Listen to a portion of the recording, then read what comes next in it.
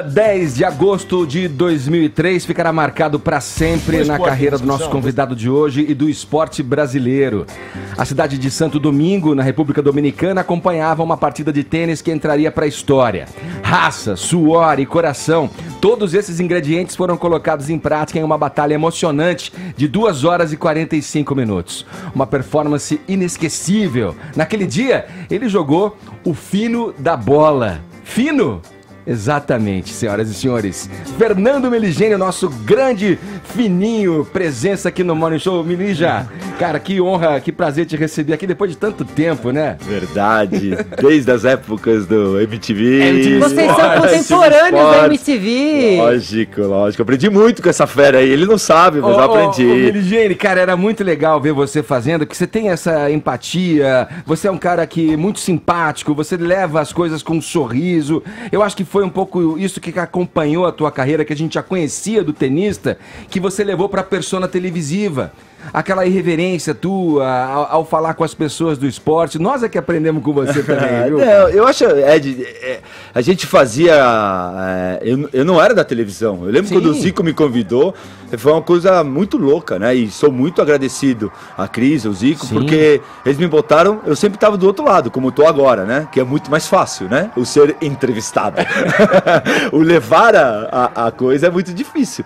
Mas foi muito legal, eu aprendi muito na MTV, aprendi muito muito em todos os lugares que eu participei e faço com verdade. A verdade, o que eu tento fazer é com verdade, é, é não maltratar ninguém, é falar a verdade, falar de frente.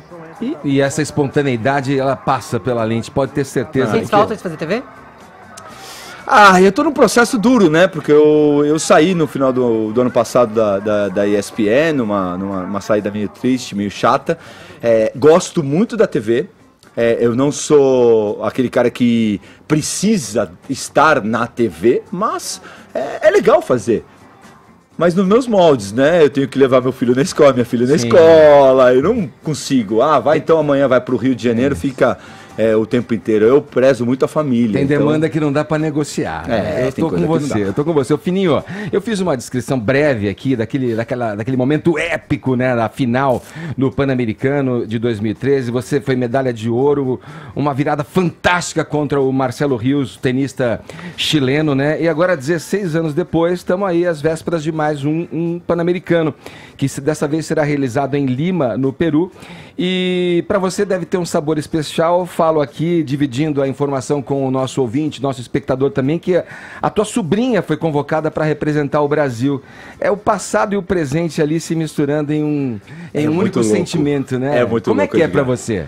É muito maluco, né? Eu tenho dois sobrinhos que jogam. É, a Carol tá 300 do mundo, ela é o número 2 do Brasil e, e, e, foi entrou por ranking, né? Então ninguém convidou e ninguém é, colocou ela lá.